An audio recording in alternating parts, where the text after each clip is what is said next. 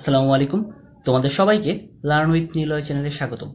আমরা আমাদের গত লেকচার ভিডিওতে পড়েছিলাম অ্যামাইনো অ্যাসিড পর্যন্ত। তো সেই ধারাবাহিকতায় আমরা আজকের এই নতুন লেকচার ভিডিওতে পড়া শুরু করব প্রোটিন থেকে, ঠিক আছে? তো প্রোটিন থেকে পড়া শুরু করার জন্য আমাকে সর্বপ্রথম জানতে হবে গ্রিক প্রোটিওস শব্দটা হতে প্রোটিন শব্দের উৎপত্তি, ঠিক আছে? তার মানে কোন গ্রিক শব্দ হতে প্রোটিন শব্দের উৎপত্তি? গ্রিক প্রোটিওস হতে প্রোটিন শব্দের উৎপত্তি। তোমাকে জানতে হবে, এই প্রোটিওস শব্দের অর্থ কি? প্রোটিওস শব্দের অর্থ হচ্ছে সবচাইতে গুরুত্বপূর্ণ। তার মানে প্রোটিন জীবদেহের সবচাইতে গুরুত্বপূর্ণ জৈব রাসায়নিক উপাদান। ঠিক আছে? তোমাকে জানতে হবে এমসিকিউ খুবই গুরুত্বপূর্ণ। সর্বপ্রথম প্রোটিন শব্দটা প্রয়োগ করেন কে? সর্বপ্রথম প্রোটিন শব্দটা প্রয়োগ করেন হচ্ছে বিজ্ঞানী জি মুল্ডার। কত সালে? আঠারোশো উনচল্লিশ সালে। ঠিক আছে? তার মানে হচ্ছে এখান থেকে আমরা কি কি পড়তে হবে জেনে গেলাম। তার মানে প্রোটিন সম্পর্কে আমি তাহলে কি জানলাম? আমি বুঝতেই পারছি। প্রোটিন হচ্ছে অসংখ্য অ্যামাইনো অ্যাসিডের সমন্বয়ে গঠিত বৃহদাকার যৌগিক জৈব অণু, ঠিক আছে? তার মানে কি? প্রোটিন হচ্ছে এমন একটা বৃহদাকার জৈব অণু যাকে ভাঙলে আমি কি পাই? যাকে হাইড্রোলাইসিস প্রক্রিয়ায় ভাঙলে আমি অসংখ্য অ্যামাইনো অ্যাসিড পাই। তার মানে হচ্ছে অ্যামাইনো অ্যাসিডের পলিমার হচ্ছে প্রোটিন আর প্রোটিনের মনোমার হচ্ছে অ্যামাইনো অ্যাসিড ঠিক আছে? তার মানে প্রোটিন কি? আশা করি এটা বুঝে গেলাম। এখান থেকে আমাদের কনসেপ্টে কোনো সমস্যা রইল না। এবার আমাকে জানতে হবে খুবই গুরুত্বপূর্ণ কথা, সেটা হচ্ছে, আমি যেহেতু জানি যে অ্যামাইনো অ্যাসিড হচ্ছে মনোমার সেই মনোমার হচ্ছে কি করে? পলিমারাইজড হয়ে প্রোটিন গঠন করে। তোমাকে জানতে হবে অ্যামাইনো অ্যাসিডের কতগুলো অণু পেপটাইড বন্ধন দ্বারা আবদ্ধ হয়ে প্রোটিন গঠন করে? অ্যামাইনো অ্যাসিডের একশোটি বা তার চেয়ে বেশি। অর্থাৎ একশো বা ততোধিক অণু কি করে? পেপটাইড বন্ধন দ্বারা আবদ্ধ থেকে প্রোটিন তৈরি করে।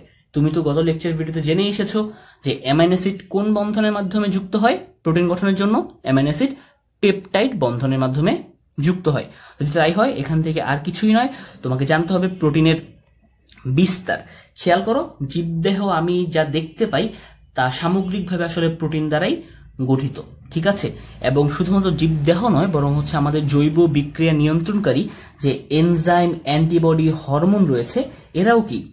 প্রোটিন ঠিক আছে? তার মানে হচ্ছে জীবদেহের সমস্ত অঙ্গ এবং হচ্ছে জীবদেহ নিয়ন্ত্রণকারী বা হচ্ছে জৈব বিক্রিয়া নিয়ন্ত্রণকারী এনজাইম অ্যান্টিবডি হরমোন যারা আছে, এরাও কি? প্রোটিন ঠিক আছে? এখান থেকে কিন্তু মেডিকেল ভর্তি পরীক্ষায় প্রশ্ন এসেছিল। প্রশ্ন এসেছিল যে নিচের কোনটি প্রোটিন ঠিক আছে? তার মানে তুমি যত এনজাইম দেখছ অ্যান্টিবডি দেখছ কিংবা হরমোন তারা সবাই আসলে গঠন বৈশিষ্ট্য কোন রকম, তারা হচ্ছে প্রোটিন ঠিক আছে? এবং এখান থেকে খুবই গুরুত্বপূর্ণ একটা লাইন সেটা হচ্ছে সব এনজাইমই প্রোটিন কিন্তু সব প্রোটিনই এনজাইম নয়। কারণটা তো তুমি জানোই। সমস্ত এনজাইম কি? প্রোটিন দ্বারা গঠিত। এনজাইম কি করে? জৈব বিক্রিয়ার হারকে ত্বরান্বিত করে, জৈব বিক্রিয়াকে নিয়ন্ত্রণ করে, তাই না? কিন্তু সব প্রোটিন তো আর হচ্ছে সেটা করতে পারে না। সব প্রোটিন এনজাইমের ভূমিকা পালন করতে পারে না, ঠিক আছে? জানতে হবে তোমার এমসিকিউ জীবদেহে শুষ্ক ওজনের কত পার্সেন্ট প্রোটিন জীবদেহে শুষ্ক ওজনের পঞ্চাশ পার্সেন্ট প্রোটিন এইচএসসি অ্যাডমিশন টেস্টের জন্য খুবই গুরুত্বপূর্ণ প্রশ্ন। যদি তাই হয়, এখান থেকে আর কিছুই না, তোমাকে জানতে হবে প্রোটিনের গঠনটা আসলে কীভাবে হয়। খুব সহজ, তুমি অলরেডি বেসিক কনসেপ্টটা জানোই যে অ্যামাইনো অ্যাসিড পেপটাইড বন্ধনের মাধ্যমে যুক্ত হয়ে প্রোটিন গঠন করে, ঠিক আছে? এবার আমাকে জানতে হবে যে অ্যামাইনো অ্যাসিডটা একদম স্পেসিফিক কীভাবে যুক্ত হয়। দেখো, বলা হচ্ছে একটি অ্যামাইনো অ্যাসিডের কার্বক্সিল গ্রুপ, অপর আরেকটা অ্যামাইনো অ্যাসিডের আলফা অ্যামাইনো গ্রুপের সাথে যুক্ত হয়ে কি করে? একটা অ্যামাইড বন্ধন গঠন করে, যেটাই আসলে বেসিক্যালি পেপটাইড বন্ধন। এবং এই পেপটাইড বন্ধন গঠনের মাধ্যমেই প্রোটিন ফর্মেশন হয়। তাহলে কি কথা বলল? বলল যে একটি অ্যামাইনো অ্যাসিডের কার্বক্সিল গ্রুপ, তার মানে এই যে অ্যামাইনো অ্যাসিডের যে কার্বক্সিলিক অ্যাসিড মূলকটা আছে, সেই কার্বক্সিলিক অ্যাসিড মূলকটার সাথে অপর আর একটা অ্যামাইনো অ্যাসিডের আলফা অ্যামাইনো গ্রুপ, তার মানে অ্যামাইনো গ্রুপ কোনটা? এন এইচ টু, তাই তো? এই এন এইচ টু গ্রুপ কি হয়? যুক্ত হয়, তার মানে আমি সহজ কথায় বলতে পারি, কার্বনের সাথে অ্যামাইনো গ্রুপের নাইট্রোজেন যুক্ত হয়, তার মানে একটা সি এন বন্ধন গঠিত হয়, ঠিক আছে? এবং তারা যেই বন্ধনের মাধ্যমে যুক্ত হয়, সেই বন্ধনটাকে কি বলে? সেটাকে বলা হয় পেপটাইড বন্ধন। এবং ঠিক একইভাবে গ্লাইকোসাইডিক বন্ধনে যেমন কি, বন্ধন গঠনের সময় এক অণু পানি অপসারিত হয়েছিল, ঠিক একইভাবে পেপটাইড বন্ধন গঠনকালেও কি হয়? এক অণু পানি অপসারিত হয় বা নির্গত হয়। এবার তুমি বুঝতেই পারছ, দুইটা ভিন্ন ভিন্ন অ্যামাইনো অ্যাসিড যদি যুক্ত হয়, তুমি সেটাকে বলবে ডাইপেপটাইড। যদি তিনটা ভিন্ন ভিন্ন অ্যামাইনো অ্যাসিড পেপটাইড বন্ধনের মাধ্যমে যুক্ত হয়, তুমি সেটাকে বলবে ট্রাইপেপটাইড। যদি চার থেকে দশটা অ্যামাইনো অ্যাসিড পেপটাইড বন্ধনের মাধ্যমে যুক্ত হয়, তুমি সেটাকে বলবে অলিগো পেপটাইড ঠিক আছে? এখান থেকে একটা এমসিকিউ এইচএসসি এবং অ্যাডমিশন টেস্টের জন্য অত্যন্ত গুরুত্বপূর্ণ। সেটা হচ্ছে বিভিন্ন অ্যামাইনো অ্যাসিডের কতগুলো অণু পরস্পর যুক্ত হয়ে পেপটাইড বন্ধন গঠন করে?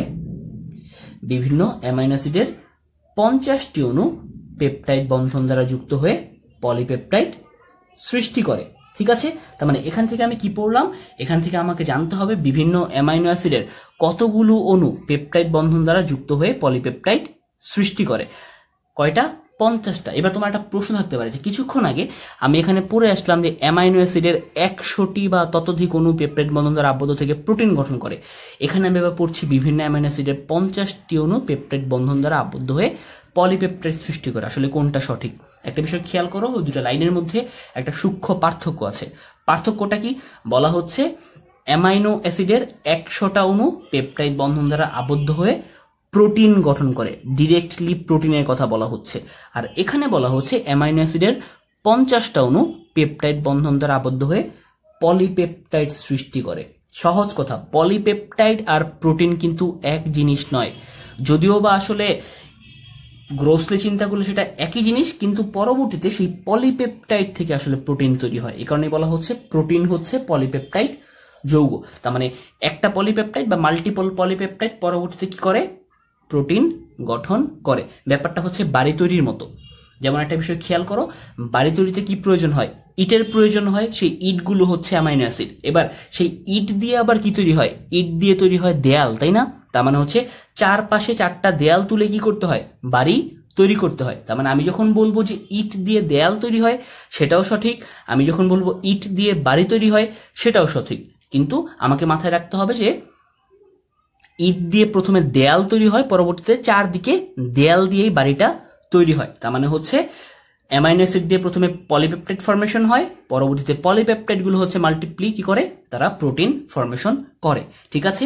তার মানে যদি জিজ্ঞেস করে যে অ্যামাইনো অ্যাসিডের কতগুলো অণু পেপটাইড বন্ধন দ্বারা আবদ্ধ হয়ে প্রোটিন গঠন করে? Answer has to be hundred যদি জিজ্ঞেস করে অ্যামাইনো অ্যাসিডের কতগুলো অণু পেপটাইড বন্ধন দ্বারা যুক্ত হয়ে পলিপেপটাইড সৃষ্টি করে, অর্থাৎ দেয়াল সৃষ্টি করে? Answer has to be fifty যদি তাই হয়, এখান থেকে আর কিছুই নয়।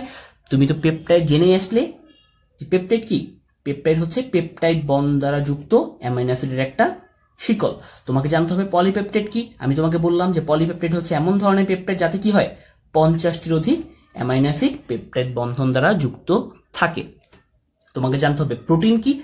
ও যে বললাম, প্রোটিন হচ্ছে এক বা একাধিক পলিপেপটাইড। তার মানে এক বা একাধিক দেয়াল মিলে কি করে? দিন শেষে বাড়ি তৈরি হয়। তার মানে এক বা একাধিক পলিপেপটাইড, যা পরবর্তীতে কি হয়? ফোল্ডেড হয়ে, বিন্যস্ত হয়ে বা ভাঁজ হয়ে একটা ত্রিমাত্রিক আকৃতি পায় এবং সেই ত্রিমাত্রিক আকৃতিকে আমি কি বলি? প্রোটিন হিসেবে চিহ্নিত করি। ঠিক আছে? তার মানে খুবই গুরুত্বপূর্ণ একটা লাইন এখান থেকে তোমাকে জানতে হবে। কেবলমাত্র ফোল্ডেড অবস্থা প্রাপ্ত হলেই প্রোটিন কার্যকরী হয়। তার মানে ফোল্ডেড হয়ে, ভাজ হয়ে যদি ত্রিমাত্রিক গঠনটা অর্জন করতে পারে তাহলে এই প্রোটিনটা একমাত্র কি হবে? কার্যকর হবে। ঠিক আছে? এখান থেকে আর কিছুই নয়। তোমাকে জানতে হবে হচ্ছে এমসিকিউ এইচএসসি এবং অ্যাডমিশন টেস্টের জন্য অত্যন্ত গুরুত্বপূর্ণ।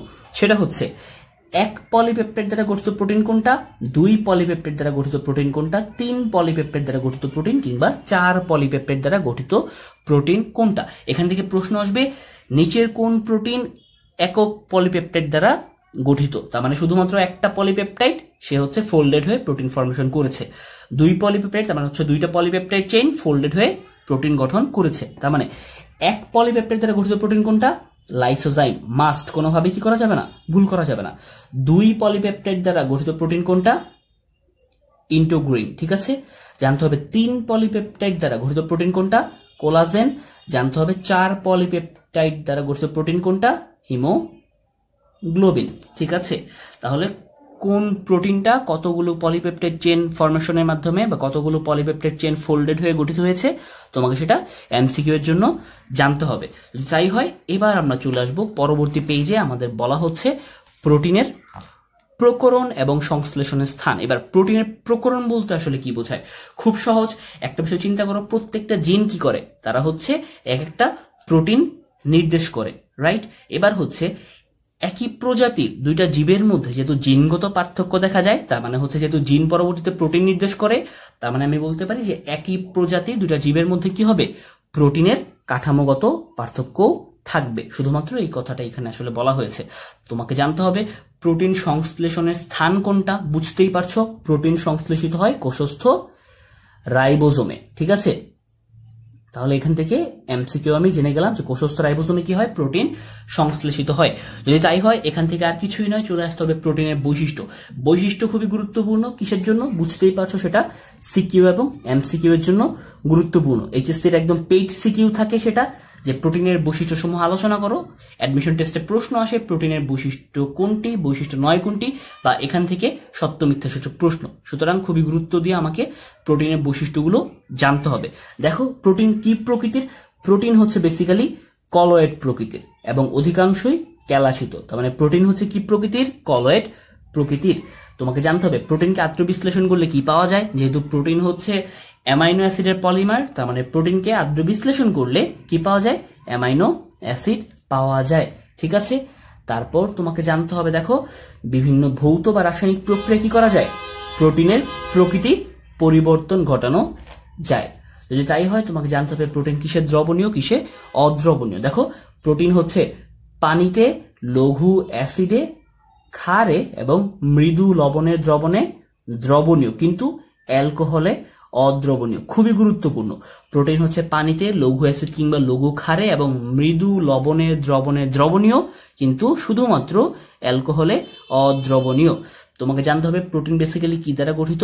প্রোটিন হচ্ছে মূলত কার্বন, হাইড্রোজেন, অক্সিজেন এবং নাইট্রোজেন দ্বারা গঠিত। ঠিক আছে? এতে হচ্ছে পরবর্তীতে সালফার, আয়রন বা তামা থাকতে পারে। কিন্তু প্রধানতম উপাদান কোনটা? কার্বন, হাইড্রোজেন, অক্সিজেন এবং নাইট্রোজেন। মনে রাখার জন্য আমরা লিখে রাখব সি এইচ ও এন আমরা লিখে রাখব কোন? ঠিক আছে? তার মানে কার্বন, হাইড্রোজেন, অক্সিজেন এবং নাইট্রোজেন দ্বারা প্রধানত প্রোটিন গঠিত। তোমাকে জানতে হবে খুবই গুরুত্বপূর্ণ এমসিকিউ সেটা হচ্ছে অ্যাসিড প্রয়োগ করলে প্রোটিন কি হয়? তঞ্চিত হয় বা জমাট বাঁধে এবং এতে প্রোটিনের আণবিক গঠন কি হয়? পরিবর্তিত হয়। তারপর নিচের কোনটির প্রয়োগে প্রোটিন তঞ্চিত হয় বা জমাট বাঁধে? অ্যান্সার কি হবে? অ্যান্সার হবে অ্যাসিড এবং প্রোটিন কি রকম? প্রোটিন সাধারণত তড়িৎ ধর্মী ঠিক আছে? তার মানে সে তড়িৎ পরিবহন করে এবং সে কি করে? বাফার দ্রবণ হিসেবে কাজ করে। তুমি তো জানোই, আমাদের রক্তের বাফার সিস্টেম হিসেবে কে কাজ করে? বিভিন্ন ধরনের প্রোটিন এবং দেখো প্রোটিনের মনোমার যে অ্যামাইনো অ্যাসিড সেই অ্যামাইনো অ্যাসিডে কি থাকে? ক্ষারীয় গ্রুপও থাকে, অম্লীয় গ্রুপও থাকে। এ কারণে সেটা কি করে? একসাথে ক্ষারীয়, অম্লীয়, উভয় প্রকার গুণই প্রকাশ করে। ঠিক এই কারণে আমি পড়েছিলাম গত লেকচার ভিডিওতে যে হচ্ছে অ্যামাইনো অ্যাসিডকে কি বলা হয়? জুইটার আয়ন বলা হয়। কারণ সেখানে ক্ষারীয় গ্রুপও থাকে, অম্লীয় গ্রুপও থাকে। এজন্য এটাকে কি বলা হয়? এটাকে বলা হয় অ্যামফোটেরিক প্রোটিন, অর্থাৎ উভধর্মী প্রোটিন। কেন উভধর্মী? কারণ সে ক্ষার ধর্মও প্রকাশ করে, সে অম্ল ধর্ম প্রকাশ করে। যদি তাই হয়, এবার আমরা চলে আসব সবচেয়ে গুরুত্বপূর্ণ পোর্শন সেটা হচ্ছে প্রোটিনের শ্রেণি বিভাগ। এবং এই প্রোটিনের শ্রেণি বিভাগ থেকে এইচএসসি পরীক্ষা এবং অ্যাডমিশন টেস্টে সবচাইতে গুরুত্বপূর্ণ এমসিকিউ গুলো হয়। এবং শ্রেণি বিভাগ, সেখানে বিশাল আকারে আলোচনা করা হয়েছে। আমরা খুব সহজে বুঝে শ্রেণি বিভাগটা পড়ে ফেলব, উদাহরণগুলো জেনে ফেলব, যেন হচ্ছে এখান থেকে যদি কোনো এমসিকিউ আসে ইনশাল্লাহ সেই এমসিকিউ গুলো আমার কোনোভাবে কিনা হয়, আমার কোনোভাবে ভুল না হয়। যদি তাই হয়, চলো ধারাবাহিকভাবে আমরা প্রোটিনের শ্রেণি বিভাগটা পড়ে ফেলি, ঠিক আছে? এবার, প্রোটিনের শ্রেণি বিভাগ পড়ার আগে তোমাকে জানতে হবে বিচ্ছিন্ন দুইটা এমসিকিউ আমাদের বইয়ের এখানে আলোচনা করা হয়েছে। সেই এমসিকিউ গুলো কি? তোমাকে জানতে হবে ইকোলাইয়ের একটি কোষে তিন হাজার ধরনের প্রোটিন থাকতে পারে। প্রশ্ন কিন্তু আসবে ডিরেক্টলি যে ইকোলাইয়ের একটি কোষে কয় ধরনের প্রোটিন থাকে? তিন হাজার ধরনের প্রোটিন থাকে। এবং প্রশ্ন আসবে মানুষের দেহে প্রায় কত ধরনের প্রোটিন আছে? মানুষের দেহে প্রায় এক লক্ষ ধরনের প্রোটিন আছে। তার মানে ইকোলাইয়ের একটি কোষে তিন হাজার ধরনের প্রোটিন থাকে। মানুষের দেহে প্রোটিন সংখ্যা হচ্ছে প্রায় এক লক্ষ। ঠিক আছে? এবার আমরা চলে আসব হচ্ছে প্রোটিনের শ্রেণি বিভাগে। তোমাকে জানতে হবে ভিন্ন ভিন্ন ক্রাইটেরিয়ার উপর বেসিস করে প্রোটিনকে শ্রেণি বিন্যস্ত করা হয়। প্রথম ক্রাইটেরিয়াটা কি? প্রথম ক্রাইটেরিয়াটা হচ্ছে জৈবিক কার্যাবলীর ভিত্তিতে। মাস্ট তোমাকে জানতে হবে। তার মানে হচ্ছে সে কি রকম কাজ করে, সে কি রকম জৈবিক কাজ সম্পাদন করে, তার উপর বেসিস করে প্রোটিনকে শ্রেণীবিন্যস্ত করা যায়। দেখি তাহলে, জৈবিক কার্যাবলীর ভিত্তিতে প্রোটিন হচ্ছে কয় রকম? প্রোটিন হচ্ছে দুই ধরনের। কি কি সেটা? সেটা হচ্ছে গাঠনিক প্রোটিন, সেটা হচ্ছে কার্যকরী প্রোটিন। বুঝতেই পারছি? গাঠনিক প্রোটিন তার মানে কি করে সে? সে হচ্ছে জীবদেহের বিভিন্ন অংশ গঠন করে। আর কার্যকরী প্রোটিন, তার মানে বুঝতেই পারছি সে কি করে, সে হচ্ছে জীবদেহে বিভিন্ন বিপাকীয় কাজে অংশ নেয়। ঠিক আছে? তার মানে জৈবিক কার্যাবলীর ভিত্তিতে প্রোটিন কয় রকম? জৈবিক কার্যাবলীর ভিত্তিতে প্রোটিন দুই রকম। একটা হচ্ছে গাঠনিক প্রোটিন, যে হচ্ছে জীবদেহের বিভিন্ন অংশ গঠনে অংশ নেয়, এবং আরেকজন হচ্ছে কার্যকরী প্রোটিন, যে হচ্ছে জীবদেহের বিভিন্ন বিপাকীয় কাজে অংশগ্রহণ করে। তোমাকে জানতে হবে নিচের কোনটি গাঠনিক প্রোটিন, নিচের কোনটি কার্যকরী প্রোটিন। তোমাকে জানতে হবে স্পেসিফিক কোথায় কোন প্রোটিনটা পাওয়া যায়। এখান থেকে এমসিকিউ গুলো আসবে। তাহলে দেখো, তোমাকে জানতে হবে গাঠনিক প্রোটিন কারা কারা আছে? গাঠনিক প্রোটিনগুলো হচ্ছে ক্যারাটিন, সেটা হচ্ছে কোলাজেন, তোমাকে জানতে হবে সেটা হচ্ছে ফাইব্রাইন, সেটা হচ্ছে স্ক্লেরোটিন সেটা হচ্ছে কন্ড্রিন, সেটা হচ্ছে সেইন। তার মানে এবার জানতে হবে এই যে গাঠনিক প্রোটিনগুলো এরা কে কোথায় থাকে? দেখো, ক্যারাটিন সে কোথায় থাকে? সে হচ্ছে ত্বক, শিং, নখ, খুর পালক ইত্যাদিতে বিরাজ করে। তার মানে এখান থেকে এমসিকিউ প্রশ্ন আসবে, ত্বকে কোন প্রোটিন পাওয়া যায় অথবা শিঙে কোন গাঠনিক প্রোটিন পাওয়া যায়, নখ, খুর বা পালকে কোন গাঠনিক প্রোটিন পাওয়া যায়, ঠিক আছে?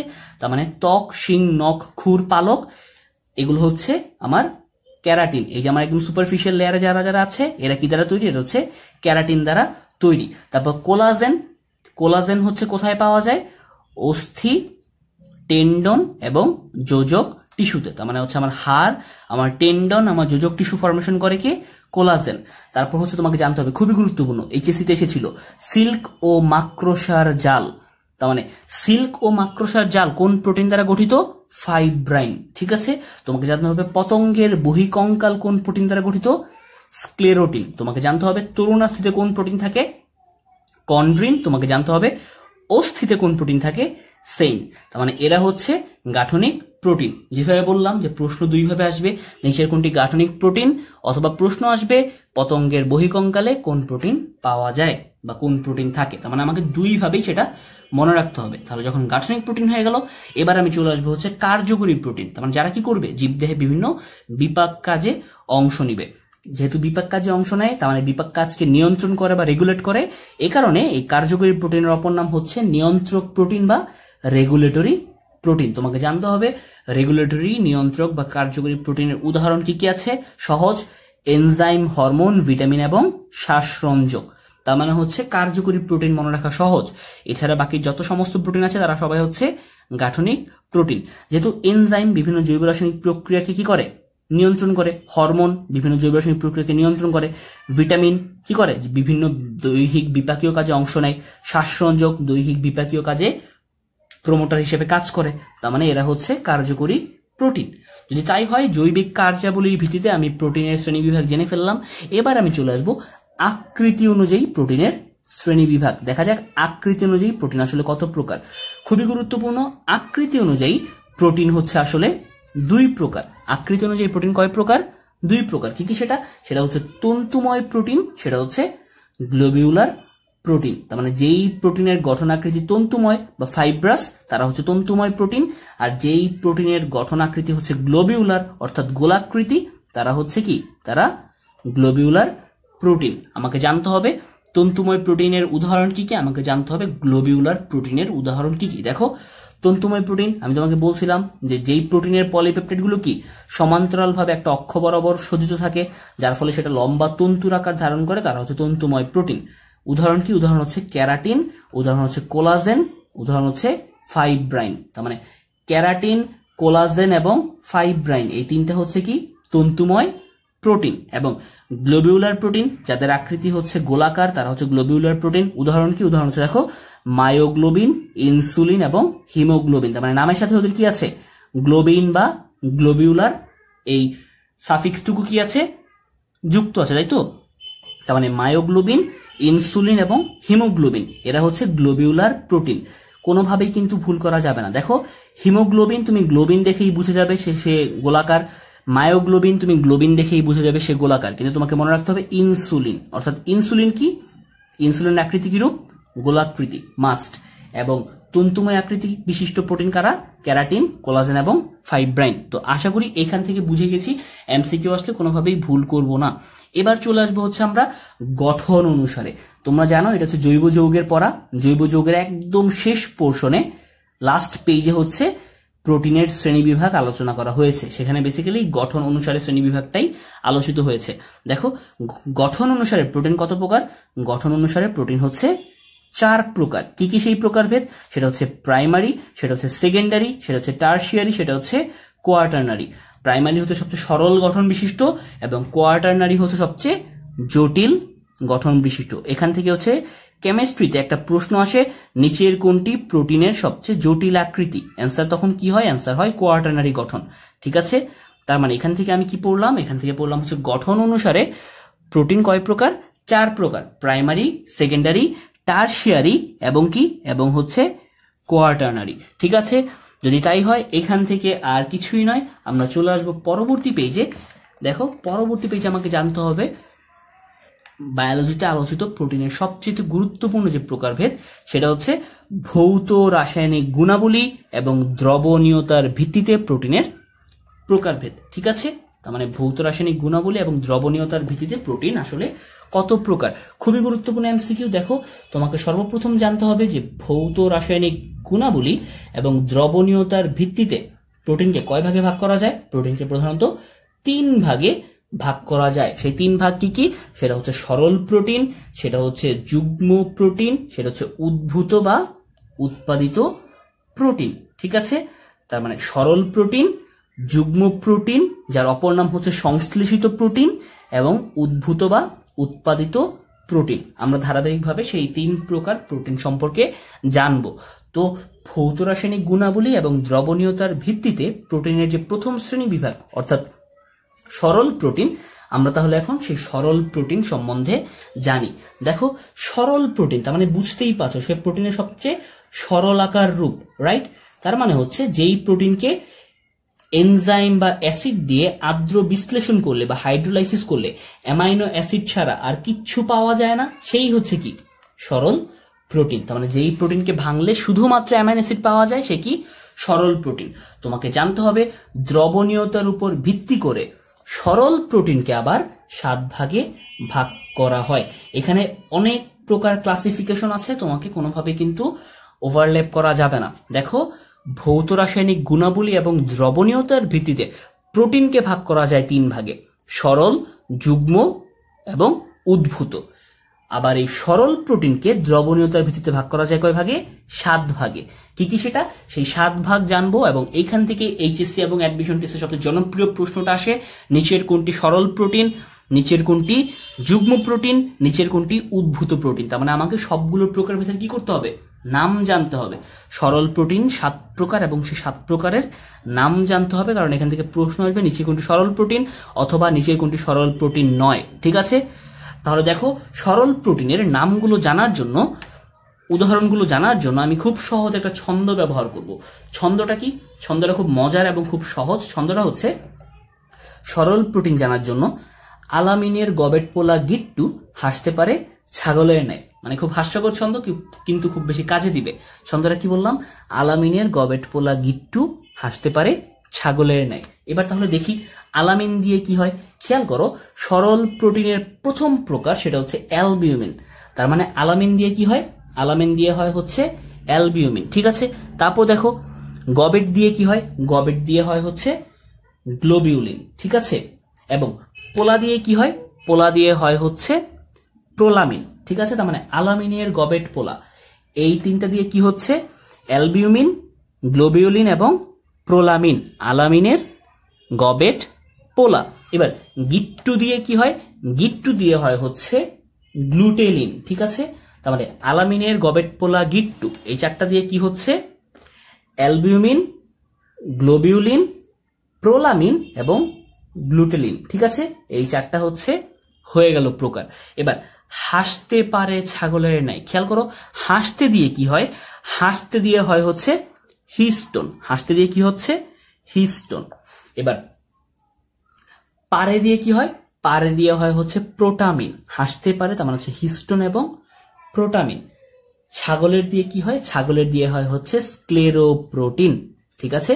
তার মানে সর্বশেষ ছাগলের ন্যায়, সেটা দিয়ে হচ্ছে আসলে স্ক্লেরো প্রোটিন তার মানে দেখো, এই সহজ ছন্দটা দিয়ে খুব সহজে আমি কি করে ফেললাম? সাতটা সরল প্রোটিন আমি জেনে ফেললাম। সেটা কি কি? আলামিনের গবেট পোলা গিট্টু হাসতে পারে ছাগলের ন্যায়। তার মানে albumin, globulin, prolamin, glutelin, histone, protamine এবং স্ক্লেরো প্রোটিন ঠিক আছে? খুব সহজ হয়ে গেল। আশা করি এই সাতটা নাম কোনোভাবে কি হবে না? ভুল হবে না। যদি তাই হয়, দেখো, এখান থেকে খুব সহজে আমি কি করে ফেলতে পারলাম? এখান থেকে আমি খুব সহজে সবগুলো সরল প্রোটিনের নামগুলো হচ্ছে জেনে ফেলতে পারলাম। এবার তোমাকে আসলে এখান থেকে কি পড়তে হবে? শুধুমাত্র কি প্রশ্নটা এইভাবে আসবে যে নিচের কোনটি সরল প্রোটিন বা নিচের কোনটি সরল প্রোটিন নয়, মোটেও না, বরং ভিতর থেকে আরও কিছু প্রশ্ন হবে সুতরাং আমাকে ভিতর থেকে জানতে হবে যে প্রশ্নটা আসলে কীভাবে আসবে। যেহেতু তুমি বুঝতে পারছ যে সরল প্রোটিনটাকে এই যে সাত প্রকারে বা সাত ভাগে ভাগ করা হয়েছে। সেটা কিসের উপর ভিত্তি করে? সেটা হচ্ছে দ্রবণীয়তার উপর ভিত্তি করে। তার মানে এই যে সাত প্রকার সরল প্রোটিন, এদের মধ্যে কেউ কেউ পানিতে দ্রবণীয়, কেউ কেউ পানিতে অদ্রবণীয়। আমি কিছু পড়ার আগে জেনে রাখব যে কারা পানিতে দ্রবণীয়, কারা অদ্রবণীয়। খেয়াল করো তো অ্যালবিউমিন কি দেখতে পাচ্ছি? যে সমস্ত প্রোটিন পানিতে সহজে দ্রবীভূত হয়। তার মানে অ্যালবুমিনটা কি? পানিতে দ্রবণীয় রাইট গ্লোবিউলিন সে হচ্ছে পানিতে অদ্রবণীয়। গ্লুটেলিন সে পানিতে কি? অদ্রবণীয়। ঠিক আছে? তারপর দেখো, প্রোলামিন, সেও কি? পানিতে অদ্রবণীয় রাইট এবং পরবর্তী পেজে খেয়াল করো হিস্টোন সে হচ্ছে পানিতে দ্রবণীয়। ঠিক আছে? প্রোটামিন দেখো প্রোটামিন হচ্ছে কি? পানিতে দ্রবণীয়। তার মানে আমি সর্বশেষ স্ক্লেরোপ্রোটিন পাচ্ছি যে কি? পানিতে দ্রবণীয় নয়। তার মানে পানিতে দ্রবণীয় আমি আসলে কয়টা প্রোটিন পাচ্ছি? দেখো, সরল প্রোটিনের মধ্যে মাত্র আমি তিনজনকে পাচ্ছি যারা পানিতে দ্রবণীয়। তারা কি কি? তারা ছিল হচ্ছে অ্যালবিউমিন তারা ছিল হচ্ছে হিস্টোন তারা ছিল হচ্ছে প্রোটামিন রাইট যদি তাই হয়, আমরা লিখে রাখব যে এই তিনটা পানিতে দ্রবণীয়। তার মানে এটা মনে রাখার জন্য আমি সহজে ছন্দ লিখব। ছন্দটা হচ্ছে পিঠা। কি বললাম? পিঠা। তার মানে পিঠা লিখব কীভাবে? পিঠা লিখব আমরা হচ্ছে পি টি এইচ এ ঠিক আছে? পিঠা কীভাবে লিখলাম? পিটি এইচ এ খেয়াল করো, এই পিটি দিয়ে হচ্ছে প্রোটামিন এইচ দিয়ে কি হচ্ছে? হিস্টোন এ ফর অ্যালবিউমিন ঠিক আছে? তার মানে আমি কেন পিটি দিয়েছি? কেন না জানো তোমার হচ্ছে প্রোলামিনের সাথে ওভারল্যাপ না করে যায়। যেহেতু টি আছে, তার মানে it has to be protamine ঠিক আছে? তার মানে পিটিএইচ পিঠা কি পানিতে দ্রবণীয়? পিটিতে হচ্ছে প্রোটামিন এইচে হচ্ছে হিস্টোন এতে কি? অ্যালবিউমিন এরা কি? এরা হচ্ছে পানিতে দ্রবণীয়, ঠিক আছে? এটা হচ্ছে অবশ্যই বইয়ের মধ্যে কি করব? লিখে রাখব।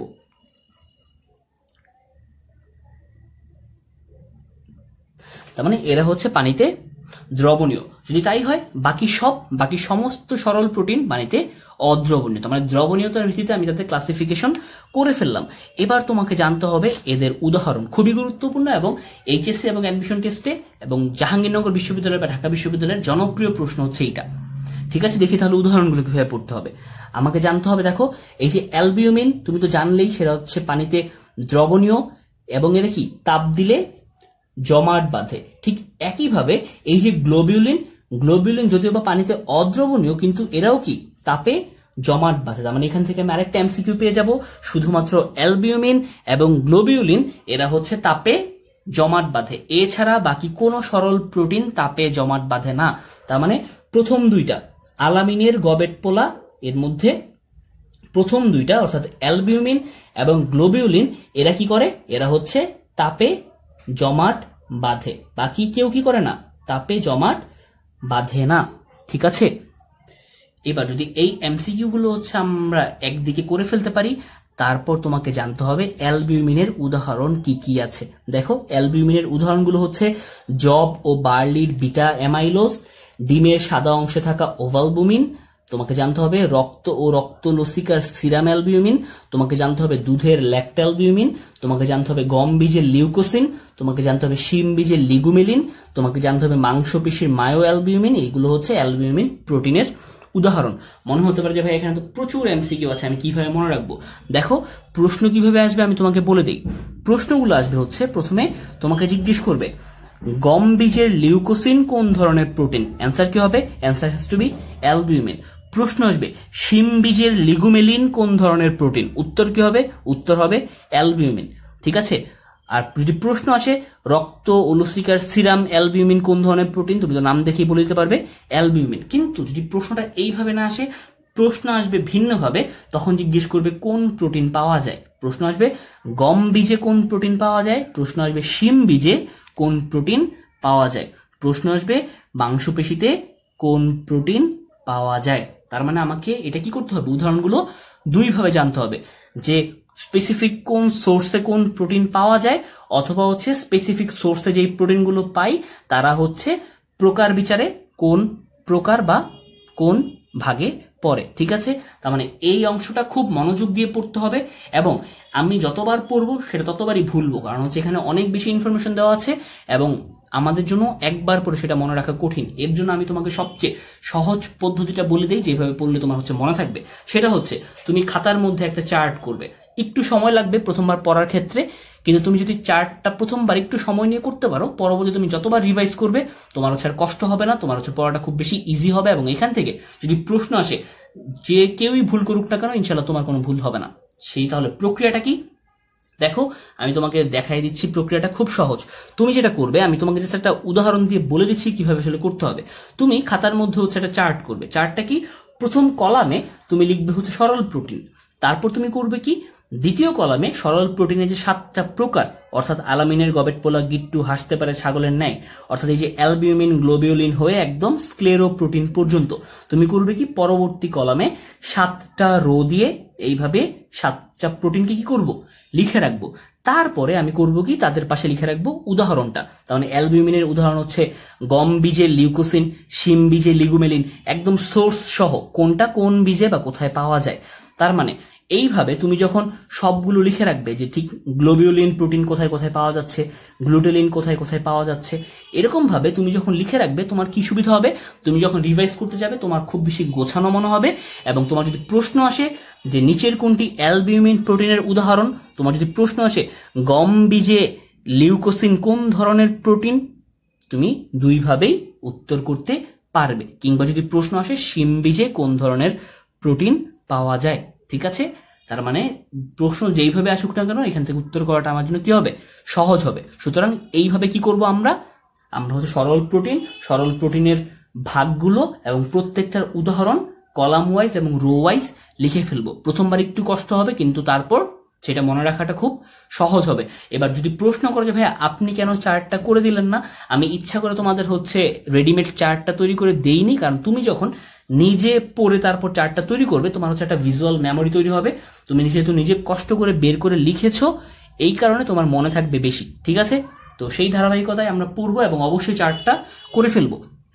তাহলে দেখো অ্যালবিউমিনের উদাহরণের মধ্যে আমরা কি কি লিখব? আমরা তো বললাম রক্ত লসিকার সিরাম অ্যালবিউমিন দুধের ল্যাক্টালবিউমিন গম বীজের লিউকোসিন শিম বীজের লিগুমেলিন মাংসপেশির মায়ো অ্যালবিউমিন যদি তাই হয়, এবার হচ্ছে আমরা চলে আসব গ্লোবিউলিন প্রোটিনে দেখো, এরা হচ্ছে পানিতে অদ্রবণীয়, বুঝতেই পারছি, পিঠা ছাড়া বাকি সবাই কি? অদ্রবণীয়।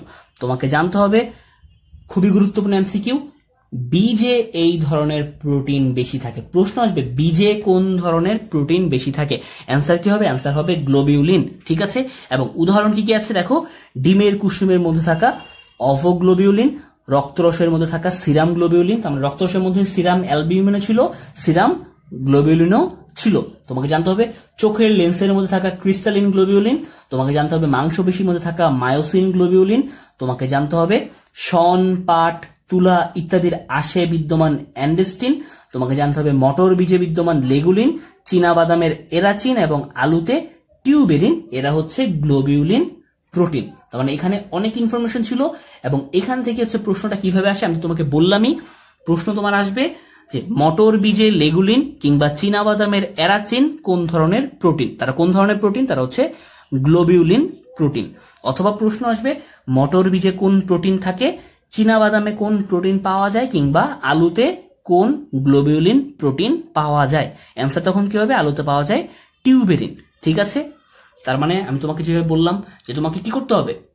তোমাকে হচ্ছে ঠিক একইভাবে কি করবে? সরল প্রোটিন এইভাবে লিখে এই যে গ্লোবিউলিন গ্লোবিউলিনের ভিতরে আমি সবগুলো কি করব? উদাহরণ লিখে ফেলব। তার মানে কোনটা কোথায় পাওয়া যায়, তখন হচ্ছে আমার রিভাইজ করতে কোনো সমস্যা হবে না। এখান থেকে কিন্তু একটা জনপ্রিয় প্রশ্ন ঢাকা বিশ্ববিদ্যালয়ে ভর্তি পরীক্ষায় এসেছিল, চোখের লেন্সে কোন প্রোটিন পাওয়া যায়? কোন প্রোটিন ক্রিস্টালিন গ্লোবিউলিন পাওয়া যায়। ঠিক আছে? আবার যদি প্রশ্ন আসে যে চোখের লেন্সের ক্রিস্টালিন গ্লোবিউলিন কোন ধরনের প্রোটিন নাম থেকেই বুঝতে পারছ সে গ্লোবিউলিন ধরনের প্রোটিন তার মানে উদাহরণগুলো মাস্ট এখানে যত উদাহরণ আছে মাস্ট খুব ভালো করে তোমাকে সেটা পড়তে হবে। তারপর দেখো, আমরা চলে আসব পরবর্তী সরল প্রোটিন যেটা হচ্ছে গ্লুটেলিন ঠিক আছে? দেখো গ্লুটেলিন এরা হচ্ছে কি? তাপে জমাট বাঁধে না। তোমাকে তো বললামই যে শুধুমাত্র অ্যালবিউমিন এবং গ্লোবিউলিন হচ্ছে তাপে জমাট বাঁধে। এছাড়া অন্য কোনো সরল প্রোটিন তাপে জমাট বাঁধে না। এবং দেখো, শস্য দানায় এই প্রোটিন অধিক পরিমাণে থাকে। প্রশ্ন হবে, শস্য দানায় কোন প্রোটিন অধিক পরিমাণে থাকে? কোনটা? গ্লুটেলিন। তার মানে বীজে বেশি পরিমাণে থাকে হচ্ছে গ্লোবিউলিন শস্য দানায় থাকে হচ্ছে গ্লুটেলিন। এবং উদাহরণ কি? উদাহরণ হচ্ছে গমের গ্লুটেনিন, চালের অরাইজেনিন ইত্যাদি হচ্ছে গ্লুটেলিন প্রোটিনের উদাহরণ। প্রশ্ন বললাম, এইভাবে আসবে যে চালের অরাইজেনিন কোন ধরনের প্রোটিন? অ্যান্সার হবে গ্লুটেলিন, অথবা বলবে চালে কোন প্রোটিন বিদ্যমান? অথবা চালে কোন প্রোটিনটি পাওয়া যায়? তখন অ্যান্সার কি হবে? অরাইজেনিন। তার মানে প্রশ্ন দুইভাবেই হতে পারে, ঠিক আছে? সেটা কোন প্রোটিনের উদাহরণ অথবা স্পেসিফিক কোন প্রোটিনটা পাওয়া যায়? সুতরাং খুব মনোযোগ দিয়ে একটু সময় লাগলেও এই অংশটা আমি একদম ক্লিয়ার করে তারপর সামনে আগাবো, ঠিক আছে? তারপর চলে আসবে হচ্ছে চতুর্থ সরল প্রোটিন, যেটা হচ্ছে প্রোলামিন। প্রোলামিন থেকে তোমাকে জানতে হবে, দেখো, এরাও কি পানিতে? অদ্রবণীয়। এরা হচ্ছে পানি এবং অ্যাবসোলুট ইথানলেও অদ্রবণীয়, ঠিক আছে? তোমাকে জানতে হবে, উদাহরণ কি কি? ভুট্টার জেইন গম এবং রায়ের গ্লিয়াডিন এবং জব এবং বার্লির হাওডিন হচ্ছে প্রোলামিন প্রোটিনের উদাহরণ। এরা শুধুমাত্র কোথায় থাকে? এরা শুধুমাত্র বীজে থাকে। তার মানে প্রশ্ন দুইভাবে হবে। শুধুমাত্র বীজে থাকে কোন ধরনের প্রোটিন? প্রোলামিন। কিন্তু বীজে কোন ধরনের প্রোটিন বেশি থাকে? অ্যান্সার হচ্ছে গ্লোবিউলিন। ঠিক আছে? তাহলে খেয়াল করো, প্রোলামিনের উদাহরণ কি কি ছিল? ভুট্টার জেইন, গম এবং রায়ের গ্লিয়াডিন জব এবং বার্লির হর্ডিন ঠিক আছে? ঠিক একইভাবে যেটা বলছিলাম যে প্রোলামিন কি করব? এখানে এইভাবে উদাহরণ তিনটা লিখে ফেলব, ঠিক আছে? এবং প্রশ্ন অন্যভাবে আসতে পারে যে গমে কোন প্রোটিন বিদ্যমান? জব বা বার্লিতে কোন প্রোটিন বিদ্যমান? ভুট্টায় কোন প্রোটিন বিদ্যমান? ভুট্টায় কোন প্রোটিন বিদ্যমান? তখন তোমাকে উত্তর করতে হবে জেইন। যদি বলে গমে কোন প্রোটিন বিদ্যমান, উত্তর করতে হবে গ্লিয়াডিন। কিন্তু যদি প্রশ্ন আসে গমের গ্লিয়াডিন কোন ধরনের প্রোটিন? উত্তর করতে হবে প্রোলামিন, ঠিক আছে? তার মানে এটা একটু মনোযোগ দিয়ে পড়তে হবে। কেননা, ভালো করে যদি না পড়ো এইচএসসি কি অ্যাডমিশনে এখান থেকে প্রশ্নের উত্তর করা অনেক কঠিন, ঠিক আছে? যদি তাই হয়, এখান থেকে আর কিছুই নয়। দেখো, পরবর্তী পঞ্চম প্রকার আমাদের ছন্দ অনুযায়ী আলামিনের গবেট পোলা গিট্টু হাসতে পারে ছাগলের নাই এর মধ্যে আমরা হাসতে সম্পর্কে জানব। দেখো, হাসতে দিয়েছে হচ্ছিল আমাদের হিস্টোন ঠিক আছে? তার মানে হিস্টোন কি ছিল? পানিতে দ্রবণীয়, ওই যে আমরা বললাম, পিঠা। তার মানে হচ্ছে আমাদের প্রোটামিন এবং হিস্টোন এবং অ্যালবুমিন কি? পানিতে দ্রবণীয় ছিল। তোমাকে জানতে হবে, হিস্টোন প্রোটিনের উদাহরণ কি? উদাহরণটা সহজ, উদাহরণটা হচ্ছে নিউক্লিয় হিস্টোন, ঠিক আছে? তার মানে হচ্ছে নামের সাথে হিস্টোন আছে। হিস্টোন প্রোটিন উদাহরণ হচ্ছে নিউক্লিয় হিস্টোন এবং তোমাকে জানতে হবে, কোন প্রোটিনকে নিউক্লিয়াস এবং নিউক্লিক অ্যাসিডের সাথে বেশি দেখা যায়? কোন প্রোটিনকে? হিস্টোন প্রোটিনকে। তার মানে এদেরকে কি করা হয়? নিউক্লিয়াস এবং নিউক্লিক অ্যাসিডের সাথে বেশি দেখা যায়। এবার চলে আসব আমরা প্রোটামিন তোমাকে জানতে হবে এমসিকিউ এইচএসসিতে এসেছিল অ্যাডমিশন টেস্টে অনেকবার আসা প্রশ্ন। এরা সবচেয়ে ক্ষুদ্র প্রোটিন তার মানে যতগুলো প্রোটিন পড়ছো, এর মধ্যে সবচেয়ে ক্ষুদ্র প্রোটিন কোনটা? প্রোটামিন ঠিক আছে? প্রোটামিন হচ্ছে সবচেয়ে ক্ষুদ্র প্রোটিন এরাও হচ্ছে কি? পানিতে দ্রবণীয়। তোমাকে জানতে হবে প্রোটামিনের উদাহরণ কি? প্রোটামিনের উদাহরণ হচ্ছে স্যামন মাছে শুক্রাণুতে থাকা সালমিন। তার মানে এখান থেকে প্রশ্ন, আবার বলছি, দুইভাবে আসবে। যে স্যামন মাছের শুক্রাণুতে কোন প্রোটিন থাকে?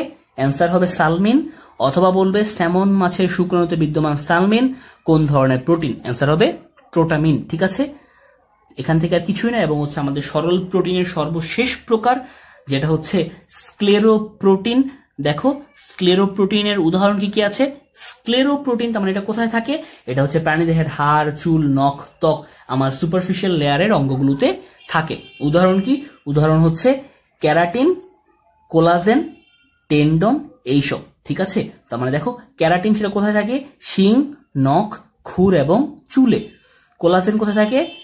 চামড়ায় এবং টেন্ডন কোথায় থাকে হাড়ে। তার মানে এখান থেকে বললাম, প্রশ্ন দুইভাবে আসবে, যে চামড়ায় কোন প্রোটিন বিদ্যমান, হাড়ে কোন প্রোটিন বিদ্যমান, শিং, নখ, খুর এবং চুলে কোন প্রোটিন পাওয়া যায়?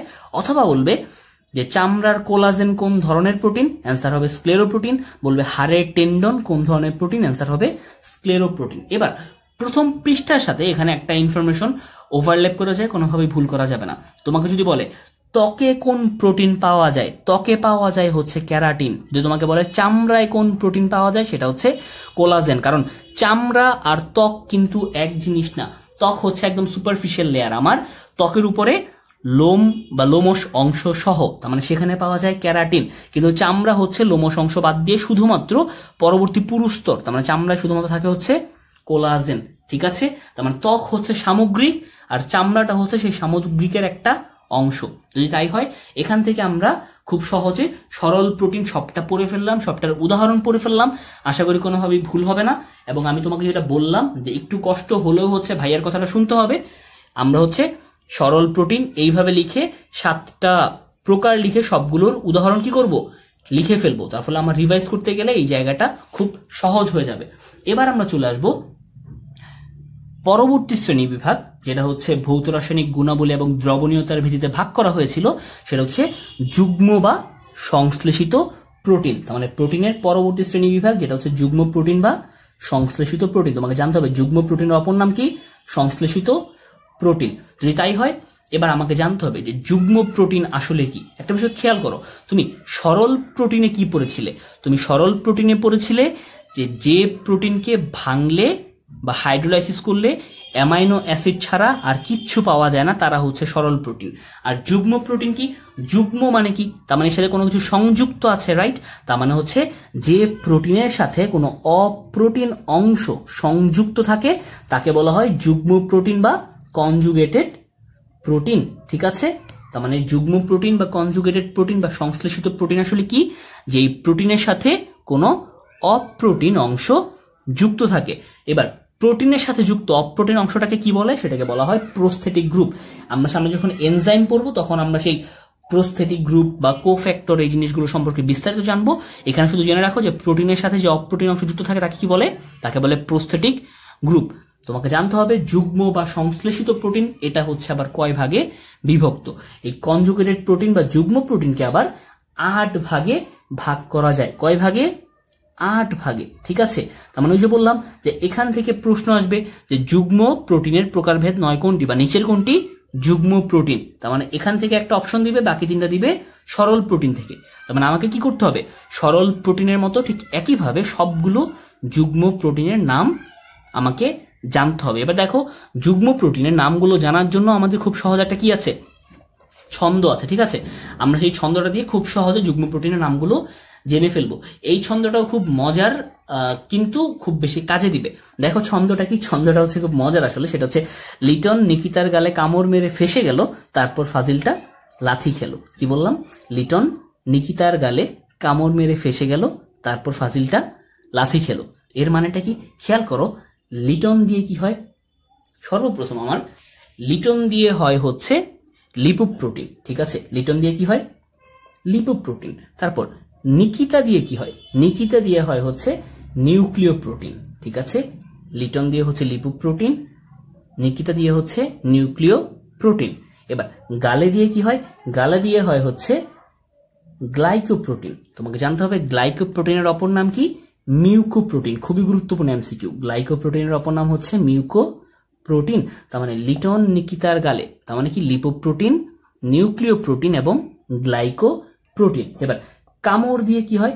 কামড় দিয়ে হয় আসলে ক্রোমো প্রোটিন ঠিক আছে? কামড় দিয়ে কি হয়? ক্রোমো প্রোটিন ঠিক আছে? এবার কামড় দিয়ে হলো, এবার হচ্ছে মেরেতে কি হয় দেখো? মেরেতে হয় হচ্ছে ম্যাটালো প্রোটিন তার মানে আমরা এখানে কি করলাম? আমরা এখানে অনেকটুকু পড়ে ফেললাম। দেখো, লিটন নিকিতার গালে কামড় মেরে, তার মানে কি? লিপোপ্রোটিন নিউক্লিয় প্রোটিন গ্লাইকোপ্রোটিন তারপর কি? কামড় দিয়েছিল ক্রোমোপ্রোটিন এবং মেরে দিয়ে হচ্ছে ম্যাটালো প্রোটিন এবার ফেসে দিয়ে কি হয়? দেখো, ফেসে দিয়ে হয় হচ্ছে ফসফোপ্রোটিন। ফেসে দিয়ে কি হয়? ফসফো প্রোটিন ঠিক আছে? এতটুকু পর্যন্ত হয়ে গেল। তার মানে লিটন নিকিতার গালে কামড় মেরে ফেসে গেল। তাহলে সবগুলো দিয়ে কি কি প্রোটিন হচ্ছে আমি খুব সহজে বুঝে গেলাম। এবার দেখো, তারপর ফাজিলটা লাথি খেলো। তারপর দিয়ে কিছুই না, আমরা হচ্ছে মিলানোর জন্য বলেছি, ফাজিলটা দিয়ে হবে হচ্ছে ফ্ল্যাভো প্রোটিন ফাজিলটা দিয়ে কি হবে? এটা দিয়ে হবে হচ্ছে ফ্ল্যাভো প্রোটিন এবং লাথি দিয়ে কি হবে? দেখো, এরপর লাথি দিয়ে হবে হচ্ছে লৌহ পোরফাইরিন প্রোটিন। ঠিক আছে? তার মানে আমরা খুব সহজে কি করলাম? আটটা প্রোটিনের নাম আমরা একটা ছন্দের মাধ্যমে জেনে ফেললাম। ঠিক আছে? তাহলে দেখো, খুব সহজ। আমরা আরেকবার যদি একটু রিকল করি। দেখো, ছন্দটা ছিল লিটন, নিকিতার গালে কামড় মেরে ফেসে গেল, তারপর ফাজিলটা লাথি খেলো। লিটন দিয়ে কি হচ্ছিল? লিটন দিয়ে হচ্ছে লিপোপ্রোটিন, নিকিতা দিয়ে হচ্ছে নিউক্লিয় প্রোটিন গালে দিয়ে হচ্ছে গ্লাইকোপ্রোটিন, কামড় দিয়ে হচ্ছে ক্রোমোপ্রোটিন, মেরে দিয়ে হচ্ছে মেটালোপ্রোটিন, ফেসে দিয়ে হচ্ছে ফসফোপ্রোটিন, তারপর ফাজিলটা দিয়ে হচ্ছে কি? ফাজিলটা দিয়ে হচ্ছে ফ্ল্যাবোপ্রোটিন লাথি দিয়ে হচ্ছে লৌহ পোরফাইরিন প্রোটিন, ঠিক আছে? যদি তাই হয়, আমরা হচ্ছে আটটা প্রকার জেনে গেলাম। এবার হচ্ছে ঠিক একইভাবে সরল প্রোটিনের মতো আমাকে জানতে হবে যে এদের উদাহরণ, ঠিক আছে? সর্বপ্রথম তাহলে আমরা চলে আসব, দেখো নিউক্লিয় প্রোটিনে তোমাকে জানতে হবে নিউক্লিয় প্রোটিন তার মানে কি? যেই প্রোটিনকে হাইড্রোলাইসিস করলে একটা সরল প্রোটিন পাওয়া যায় এবং পাওয়া যায় একটা নিউক্লিক অ্যাসিড। যেহেতু নামের সাথে নিউক্লিয় আছে, তার মানে সেখানে আমি একটা কি পাবো? নিউক্লিক অ্যাসিড পাবো। তোমাকে জানতে হবে, এই নিউক্লিয় প্রোটিনকে কোথায় পাওয়া যায়? ওইটাকে অবশ্যই ক্রোমোজোমে পাওয়া যায়। মানে যদি প্রশ্ন আসে, ক্রোমোজোমে কোন প্রোটিন পাওয়া যায়, অ্যান্সার কি হবে? নিউক্লিয় প্রোটিন ঠিক আছে? এখান থেকে আর কিছুই নয়, তোমাকে জানতে হবে, দেখো, গ্লাইকোপ্রোটিন বা মিউকোপ্রোটিন। তুমি বুঝতেই পারছ, গ্লাইকোপ্রোটিন, তার মানে প্রোটিনের সাথে কি? গ্লাইকোজেন যুক্ত বা গ্লুকোজ যুক্ত যেহেতু গ্লাইকো আছে, তার মানে কি? গ্লুকোজ যুক্ত তার মানে কি? প্রোটিনের সাথে বিভিন্ন ধরনের কার্বোহাইড্রেট যুক্ত। গ্লুকোজ কি এক ধরনের শর্করা বা কার্বোহাইড্রেট। তার মানে হচ্ছে প্রোটিনের সাথে বিশেষ ধরনের কার্বোহাইড্রেট যুক্ত হলে তাকে কি বলা হয়? গ্লাইকোপ্রোটিন বা মিউকো প্রোটিন তোমাকে জানতে হবে গ্লাইকোপ্রোটিন বা মিউকোপ্রোটিন কোথায় পাওয়া যায়? সেল মেমব্রেনে গ্লাইকোপ্রোটিন বা মিউকোপ্রোটিন পাওয়া যায়। তাদের সোর্স খুবই গুরুত্বপূর্ণ। ক্রোমোজোমে পাওয়া যায় নিউক্লিয় প্রোটিন সেল মেমব্রেনে পাওয়া যায় গ্লাইকোপ্রোটিন বা মিউকো প্রোটিন এবার চলে আসবে হচ্ছে লিপোপ্রোটিন বুঝতেই পারছ লিপোপ্রোটিন তার মানে কি? লিপিড প্লাস প্রোটিন তার মানে হচ্ছে এটা লিপিড এবং সরল প্রোটিনের সমন্বয়ে গঠিত। তোমাকে জানতে হবে, কোথায় পাওয়া যায়?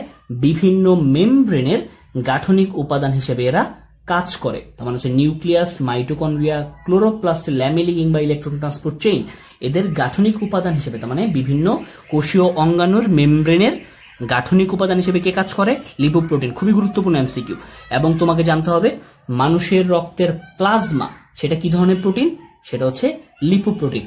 এইচএসসিতে আসা প্রশ্ন মেডিকেল ভর্তি পরীক্ষায় আসা প্রশ্ন, মানুষের রক্তের প্লাজমা প্রোটিন রকম প্রোটিন? লিপো প্রোটিন প্রশ্ন এসেছিল, মানুষের রক্তের প্লাজমা প্রোটিন কোন ধরনের প্রোটিন? অ্যান্সার কি হবে? লিপোপ্রোটিন। ঠিক আছে? তাহলে লিপোপ্রোটিনের কাজকে আমি তো বললামই, সে কি করে? কোষীয় বিভিন্ন অঙ্গাণুর মেমব্রেনের গাঠনিক উপাদান হিসেবে কাজ করে, ঠিক আছে? যদি তাই হয়, এখান থেকে আর কিছুই নয়, এবার চলে আসবে হচ্ছে ক্রোমোপ্রোটিনে। দেখো, ক্রোমোপ্রোটিন বুঝতেই পারছ, ক্রোমো মানে কি? রং বা রঞ্জক, তার মানে হচ্ছে সরল প্রোটিনের সাথে রঞ্জক পদার্থ যুক্ত হয়ে ক্রোমোপ্রোটিন সৃষ্টি করে। উদাহরণ কি? খুবই গুরুত্বপূর্ণ। উদাহরণ হচ্ছে ফ্ল্যাভোপ্রোটিন বিলি প্রোটিন ক্যারোটিনয়েড, ক্লোরোফিল, হিমোগ্লোবিন। দেখো, এই যে হিমোগ্লোবিন, তুমি জানো, রঞ্জক, ক্লোরোফিল, রঞ্জক, ক্যারোটিনয়েড রঞ্জক বিলি প্রোটিন বিলিয়ারি অ্যাপারেটাস থেকে নিঃসৃত রঞ্জক, বাইল, তাই তো? এবং হচ্ছে ফ্ল্যাভোপ্রোটিন, এরা হচ্ছে ফ্ল্যাভিন গ্রুপ যুক্ত, তার মানে ফ্ল্যাভিন গ্রুপের মধ্যে কি থাকে? Iron, right? তার মানে এরা সবাই কি? এরা সবাই হচ্ছে রঞ্জক, অর্থাৎ ক্রোমো প্রোটিন ঠিক আছে? এবার এখান থেকে আর কিছুই নয়। তারপর দেখো একটা বিষয়, তোমার এখানে একটা বিষয় ওভারল্যাপ করে যাবে, একটা বিষয় ভুল হবে। সেটা কি? সেটা হচ্ছে ফ্ল্যাভো প্রোটিন খেয়াল করো ফ্ল্যাভো প্রোটিন কিন্তু হচ্ছে ফাজিলটা, তার মানে হচ্ছে নিজেই হচ্ছে একটা প্রকার বাট সে আবার ক্রোমো প্রোটিনের উদাহরণও। কোনোভাবেই যেন এটা ভুল না হয়। এবার দেখো পরবর্তীতে মেটালো প্রোটিন বুঝতেই পারছি, তার মানে এখানে কি হবে? সরল প্রোটিনের সাথে একটা ধাতু বা মেটাল যুক্ত থাকবে রাইট তার মানে হচ্ছে ধাতু বা মেটাল সংযুক্ত প্রোটিন বা এনজাইমগুলো হচ্ছে মেটালো প্রোটিন তোমাকে জানতে হবে মেটালো প্রোটিনের উদাহরণ। খুবই গুরুত্বপূর্ণ এবং খুবই জনপ্রিয় প্রশ্ন। সেটা হচ্ছে সিডারোফিলিন এবং সেলোপ্লাজমিন তোমার নিচের কোনটি? মেটালো প্রোটিন কি কি? সিডারোফিলিন এবং সেলোপ্লাজমিন ঠিক আছে? যদি তাই হয়, এখান থেকে আর কিছুই নয়। তোমাকে জানতে হবে ফসফোপ্রোটিন বুঝতেই পারছ যেই প্রোটিনে কি? প্রস্থেটিক গ্রুপ হিসেবে, অর্থাৎ অপ্রোটিন অংশ হিসেবে ফসফরিক অ্যাসিড থাকে, সেটাই হচ্ছে ফসফোপ্রোটিন। এখান থেকে একটা প্রশ্ন আসে, ফসফোপ্রোটিনে প্রস্থেটিক গ্রুপ হিসেবে কোনটি থাকে? ফসফোপ্রোটিনের অপ্রোটিন অংশ হিসেবে কোনটি থাকে? কোনটি থাকে? Phosphoric acid. তোমাকে জানতে হবে উদাহরণ, দুধের ক্যাসিনোজেন, ডিমের ভাইটালিন হচ্ছে ফসফোপ্রোটিন। এটা খুবই গুরুত্বপূর্ণ প্রশ্ন। এখান থেকে প্রশ্ন নেবে, দুধের ক্যাসিনোজেন কোন ধরনের প্রোটিন? অ্যান্সার কি হবে? অ্যান্সার হবে হচ্ছে ফসফোপ্রোটিন। প্রশ্ন আসবে, ডিমের ভাইটালিন কোন ধরনের প্রোটিন? অ্যান্সার কি হবে? ফসফোপ্রোটিন অথবা অপশন হিসেবে দিবে যে ডিমের ভাইটালিন কোন ধরনের প্রোটিন সরল প্রোটিন সেটা হচ্ছে যুগ্ম প্রোটিন সেটা হচ্ছে উদ্ভূত প্রোটিন সেটা উৎপাদিত প্রোটিন খেয়াল করো, ডিমের ভাইটালিন সেটা হচ্ছে যুগ্ম প্রোটিন কিন্তু যদি আবার বলতো যে ডিমের অ্যালবিউমিন বা ডিমের গ্লোবিউলিন এরা হচ্ছে সরল প্রোটিন তার মানে ডিমের ভাইটালিন কোন ধরনের প্রোটিন সে হচ্ছে যুগ্ম বা সংশ্লেষিত প্রোটিন কোনোভাবেই কি করা যাবে না, ভুল করা যাবে না। ঠিক একইভাবে দুধের ল্যাক্টোঅ্যালবিউমিন বা ল্যাক্টোগ্লোবিউলিন এরা যেমন সরল প্রোটিন ঠিক একইভাবে দুধের ক্যাসিনোজেন সেটা হচ্ছে যুগ্ম বা সংশ্লেষিত প্রোটিন এবং সংশ্লেষিত প্রোটিনের কোন প্রকার? সেটা ফসফোপ্রোটিন ওই যে বললাম যে একটা ছক করে কি করব? সবগুলোর উদাহরণ লিখে রাখব, আমার কোনোভাবে আর ভুল হবে না। তারপর দেখো ফ্ল্যাভোপ্রোটিন আমি তোমাকে বলছিলাম ফ্ল্যাভোপ্রোটিনের মধ্যে কি থাকে? ফ্ল্যাভিন যৌগ। ফ্ল্যাভিন যৌগ থেকে তোমাকে জানতে হবে শুধুমাত্র পূর্ণরূপ এফএডি ফ্ল্যাভিন, অ্যাডিনিন, ডাইনিউক্লিওটাইড, ঠিক আছে? এবং সর্বশেষ দেখো, লৌহ পোরফাইরিন প্রোটিন, ঠিক আছে? এই ধরনের প্রোটিন কিসের সাথে যুক্ত থাকে? লৌহ পোরফাইরিন যৌগের সাথে যুক্ত থাকে। তার মানে শেষ দুটার মধ্যে কোনো এমসিকিউ ছিল না, আমাদের জন্য সহজ হলো। তার মানে আমরা কি করলাম? আমরা সরল প্রোটিন সবটা পড়ে ফেললাম, আমরা হচ্ছে যুগ্ম বা সংশ্লিষ্ট প্রোটিন সবটা পড়ে ফেললাম, আমরা সবগুলোর উদাহরণও পড়ে ফেললাম। যদি তাই হয়, এবার আমাদের চলে আসবে সর্বশেষ প্রকার, যেটা হচ্ছে উদ্ভূত বা উৎপাদিত প্রোটিন, ঠিক আছে? তার মানে প্রোটিনের সর্বশেষ প্রকার, অর্থাৎ ভৌত রাসায়নিক গুণাবলী এবং দ্রবণীয়তার ভিত্তিতে প্রোটিনের সর্বশেষ প্রকার কোনটা? উদ্ভূত বা উৎপাদিত প্রোটিন। তোমাকে কিন্তু জানতে হবে এমসিকিউ উদ্ভূত প্রোটিনের অপর নাম কি? উৎপাদিত প্রোটিন, ঠিক আছে? এবার তুমি বুঝতেই পারছ, উৎপাদিত প্রোটিন, তার মানে কি? এসব প্রোটিন প্রকৃতিতে মুক্ত অবস্থায় থাকে না। পরবর্তীতে উৎপাদিত হয়। তার মানে কৃত্রিম উপায়ে সেটাকে সৃষ্টি করা হয় কিংবা পরবর্তীতে বিভিন্ন এনজাইম বা রাসায়নিক পদার্থের ক্রিয়া বিক্রিয়ার মাধ্যমে সৃষ্টি হয়। ঠিক আছে? তার মানে তোমাকে এখন জানতে হবে উদ্ভূত বা উৎপাদিত প্রোটিনের উদাহরণ কি কি আছে। উদাহরণ হচ্ছে পেপটাইড, প্রোটিওস, পেপটোন, ফাইব্রিন এবং অ্যালবুমাস এবং মায়োসান। ঠিক আছে? তাহলে এই উদাহরণগুলো কীভাবে মনে রাখব? দেখো, এই উদাহরণগুলো মনে রাখার জন্য আমরা একটা ছন্দ লিখব। ছন্দটা হচ্ছে পি পি পি মাফ। তার মানে ছন্দটা হচ্ছে পিপিপি মাফ। ঠিক আছে? এই পিপিপি মাফ দিয়ে কি হয় দেখো? খুব সহজ। পিতে হচ্ছে পেপটাইড প্রোটিওস পেপটন। তার মানে তিনটা পি দিয়ে হচ্ছে পিপিপি দিয়ে পেপটাইড প্রোটিওস এবং পেপটন। এম দিয়ে কি? এম দিয়ে হচ্ছে মায়োসান, এতে হচ্ছে অ্যালবুমাস এবং এফ হচ্ছে ফাইব্রিন। তার মানে মায়োসিন থেকে সৃষ্ট মায়োসান, অ্যালবুমিন থেকে সৃষ্ট অ্যালবুমাস কোনোভাবে কিন্তু ভুল করা যাবে না। অ্যালবুমিন নিজে হচ্ছে সরল প্রোটিন, কিন্তু এই অ্যালবিউমিন থেকে সৃষ্ট অ্যালবিউমাস সে হচ্ছে উদ্ভূত বা উৎপাদিত প্রোটিন। তার মানে আমরা উদ্ভূত বা উৎপাদিত প্রোটিন তো বুঝেই গেলাম, যে হচ্ছে কি, প্রকৃতিতে মুক্ত অবস্থায় থাকে না। প্রশ্ন আসবে, নিচে কোন প্রোটিনটি প্রকৃতিতে মুক্ত অবস্থায় থাকে না? সেটা হচ্ছে উদ্ভূত বা উৎপাদিত প্রোটিন। যেহেতু মুক্ত অবস্থা থাকে না, তাকে কি করতে হয়? সংশ্লেষ করতে হয়, তৈরি করতে হয়, অর্থাৎ উৎপাদন করতে হয় বিশেষ প্রক্রিয়ার মাধ্যমে। এবং উদাহরণ তো বললাম পিপিপি মাফ, ঠিক আছে? তার মানে পিপিপিতে ছিল পেপটাইড প্রোটিওস পেপটোন এবং মাফ দিয়েছিল কি? মায়োসান, অ্যালবুমাস এবং এফ দিয়ে কি ছিল? এফ দিয়ে ছিল হচ্ছে ফাইব্রিন, ঠিক আছে? যদি তাই হয়, আশা করি এটা এখান থেকে বুঝে ফেলেছি। এবার হচ্ছে আমাদের সর্বশেষ, সেটা হচ্ছে আলাদা একটা প্রকার, যেটা হচ্ছে গুণগত বৈশিষ্ট্যের ভিত্তিতে প্রোটিনের প্রকারভেদ। দেখো, খুবই গুরুত্বপূর্ণ। গুণগত বৈশিষ্ট্যের উপর ভিত্তি করে প্রোটিন আসলে দুই প্রকার, ঠিক আছে? সেটা হচ্ছে প্রথম শ্রেণির প্রোটিন, সেটা হচ্ছে দ্বিতীয় শ্রেণির প্রোটিন। সেটা কিসের উপর ভিত্তি করে বললাম? গুণগত বৈশিষ্ট্যের উপর ভিত্তি করে। এবার তাহলে আমরা দেখি যে গুণগত বৈশিষ্ট্য বলতে আসলে কি বোঝায়। খেয়াল করো, প্রথম শ্রেণির প্রোটিন, তার মানে হচ্ছে যেই প্রোটিনের মধ্যে সব কয়টা অ্যামাইনো অ্যাসিড বিদ্যমান থাকে, তারা হচ্ছে প্রথম শ্রেণির প্রোটিন বা সম্পূর্ণ প্রোটিন। তার মানে মানবদেহের প্রয়োজনীয় সমস্ত অ্যামাইনো অ্যাসিড যে প্রোটিনে বিদ্যমান থাকে, তারা কি? তারা হচ্ছে প্রথম শ্রেণির প্রোটিন। এবং প্রথম শ্রেণির প্রোটিনকে কি বলা হয়? তাদেরকে বলা হয় সম্পূর্ণ প্রোটিন। উদাহরণ কি? উদাহরণ হচ্ছে মাছ, মাংস, ডিম, দুধ, বাদাম এবং সয়াবিন। ঠিক আছে? তার মানে নিচের কোনটি প্রথম শ্রেণির প্রোটিন, নিচের কোনটি দ্বিতীয় শ্রেণির প্রোটিন? খুবই গুরুত্বপূর্ণ এমসিকিউ, ভুল করা যাবে না। এবার মাছ, মাংস, ডিম, দুধ, তারা যে প্রথম শ্রেণির প্রোটিন তোমার কখনো ভুল হবে না। তোমার ভুল হবে হচ্ছে বাদাম এবং সয়াবিন। তার মানে বাদাম হচ্ছে প্রথম শ্রেণির প্রোটিন সয়াবিন সেও কি? প্রথম শ্রেণির প্রোটিন কেন প্রথম শ্রেণি? কারণ তার মধ্যে সবগুলো অ্যামাইনো অ্যাসিড আমার দেহের জন্য এসেন্সিয়াল সবগুলো অ্যামাইনো অ্যাসিড বিদ্যমান থাকে। যদি তাই হয়, এবার আমরা চলে আসব দ্বিতীয় শ্রেণির প্রোটিন দেখো, দ্বিতীয় শ্রেণি মানে কি? বুঝতেই পারছি, যে সমস্ত প্রোটিনের মধ্যে সবগুলো এসেন্সিয়াল বা অপরিহার্য অ্যামাইনো অ্যাসিড থাকে না, তারা হচ্ছে কি? দ্বিতীয় শ্রেণির প্রোটিন। যেহেতু সবগুলো অ্যামাইনো অ্যাসিড থাকে না এই কারণে দ্বিতীয় শ্রেণির প্রোটিনকে বলা হয় অসম্পূর্ণ প্রোটিন, ঠিক আছে?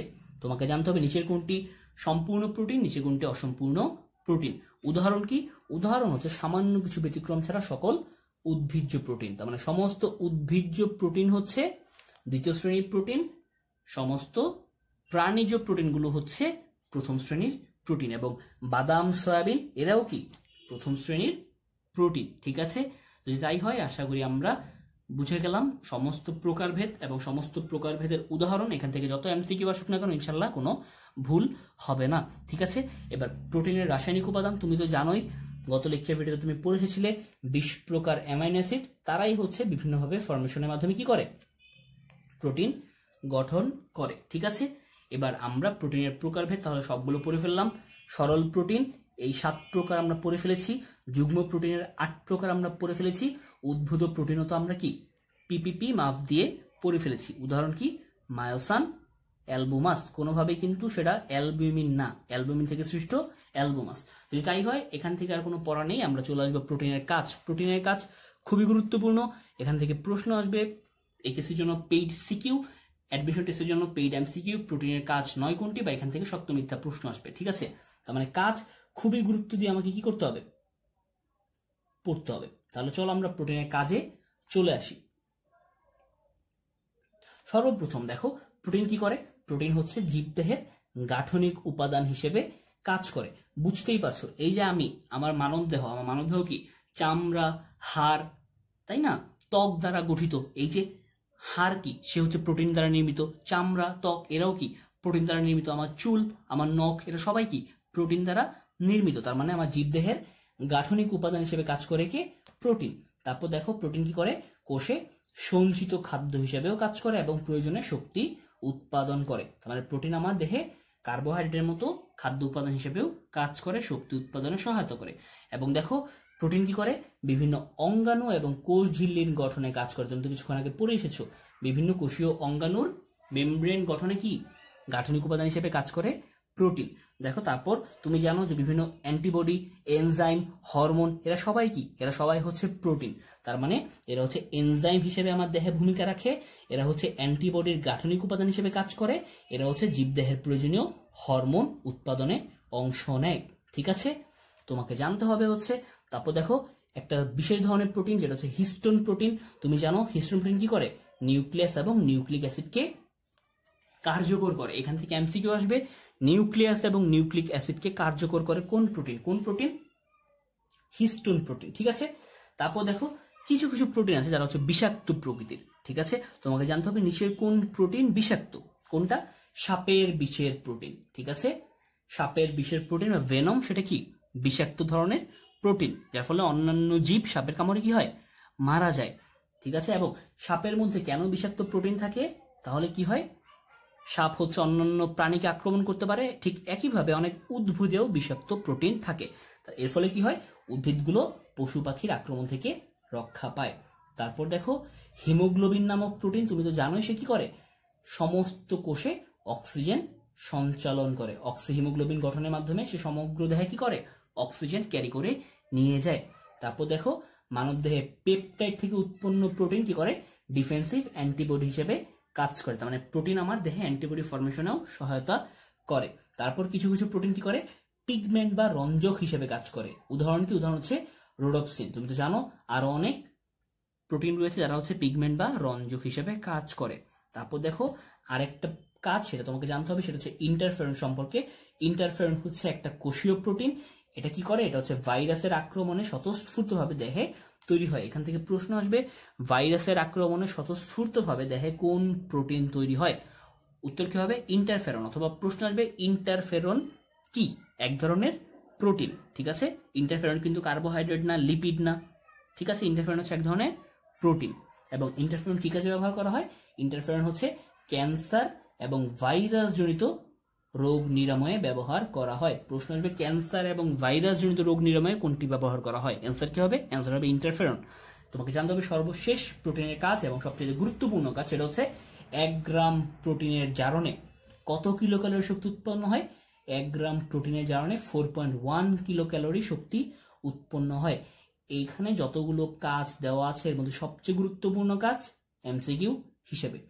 এক গ্রাম প্রোটিনের জারণে কত কিলো ক্যালোরি শক্তি উৎপন্ন হয়? এক গ্রাম প্রোটিনের জারণে four point one kilocalorie শক্তি উৎপন্ন হয়। যে তাই হয়, আমরা ধারাবাহিকভাবে প্রোটিনের কাজগুলো পড়ে ফেললাম। এবার আমরা চলে আসব পরবর্তী পৃষ্ঠায় জীবদেহে প্রোটিনের ভূমিকা। তুমি এতক্ষণ পর্যন্ত প্রোটিনের এত এত কাজ সম্পর্কে পড়ে এসেছ যে জীবদেহে প্রোটিনের ভূমিকা আলাদা করে আলোচনা করার কোনো প্রয়োজন নেই। তুমি জানো যে জীবদেহে প্রোটিনের ভূমিকা অনেক। কীভাবে? সে হচ্ছে আমার দেহের গাঠনিক অংশ হিসেবে কাজ করে, অর্থাৎ আমার দেহাঙ্গ সে গঠন করে। তারপর কি? আমার জীবদেহে নানা রকম জৈব রাসায়নিক বিক্রিয়া, সেগুলো হচ্ছে এনজাইম কর্তৃক নিয়ন্ত্রিত। প্রোটিন হচ্ছে প্রত্যক্ষভাবে এনজাইম গঠন অংশ নেয়। তারপর কি? আমার জীবের চারিত্রিক বৈশিষ্ট্য প্রকাশ করে কি? জিন। আমি জানি যে আসলে জিন কি করে? দিন শেষে জিন হচ্ছে একটা প্রোটিন নির্দেশের মাধ্যমেই আমার চারিত্রিক বৈশিষ্ট্য নিয়ন্ত্রণ করে। তার মানে যদি প্রোটিন না থাকতো, আমার জিন ফরমেশন হতো না, জিন না থাকলে প্রোটিন ফরমেশন হতো না, আমার জীবের চারিত্রিক বৈশিষ্ট্য প্রকাশ পেত না। ঠিক আছে? ঠিক একইভাবে আমার বিভিন্ন জৈব রাসায়নিক কার্যক্রমে অংশ নেয় হচ্ছে হরমোন। হরমোন জৈব রাসায়নিক বিক্রিয়া নিয়ন্ত্রণ করে। আমি জানি হরমোনও কি এক ধরনের প্রোটিন রাইট তারপর দেখো আমার দেহের ইমিউন সিস্টেম আমার রোগ প্রতিরোধ ক্ষমতা বৃদ্ধি করতে, আমার যে ইমিউনোলজি কাজ করছে, সেও কি? প্রোটিন নির্ভর, ঠিক আছে? প্রোটিন কি করে? আমার খাদ্য উপাদান হিসেবে কাজ করে, দেহের শক্তির উৎস হিসেবে কাজ করে। জানতে হবে আমার কোষ চক্র সম্পন্ন করতেও কি? প্রোটিনের প্রয়োজন হয়, ঠিক আছে? তারপর হচ্ছে এই যে ট্রান্সক্রিপশন ধাপ ট্রান্সক্রিপশন ধাপেও কি হয়? প্রোটিনের প্রয়োজন হয়। তারপর আমার দেহের রোগ প্রতিরোধ ক্ষমতা বৃদ্ধিতে এবং দেহে প্রবেশিত জীবাণু ধ্বংস করতে যে অ্যান্টিবডি ফর্মেশন হয়, সেই অ্যান্টিবডিও কি এক ধরনের প্রোটিন? এবং তুমি ইন্টারফেরন নামক প্রোটিনের কাজ তো জেনে এসেছিলে, সে কি করে? ক্যান্সার এবং ভাইরাসের আক্রমণ নিয়ন্ত্রণ করে, ঠিক আছে? এখান থেকে একটা এমসিকিউ জানতে হবে। ইন্টারফেরন নামক বিশেষ প্রোটিন কি করে? ভাইরাস প্রতিরোধক হিসেবে ব্লাড ক্যান্সার নিরাময়ে কাজ করে। তার মানে তোমার হচ্ছে ব্লাড ক্যান্সার নিরাময়ে কোন প্রোটিন ব্যবহৃত হয়? অ্যান্সার হচ্ছে টু বি ইন্টারফেরন ঠিক আছে? তোমাকে জানতে হবে, কিছু কিছু উদ্ভিদ বা প্রাণীতে আত্মরক্ষার্থে এক ধরনের প্রোটিন ব্যবহৃত হয়, যেটা হচ্ছে বিষাক্ত প্রোটিন তুমি তো জানোই, উদাহরণ হচ্ছে কি?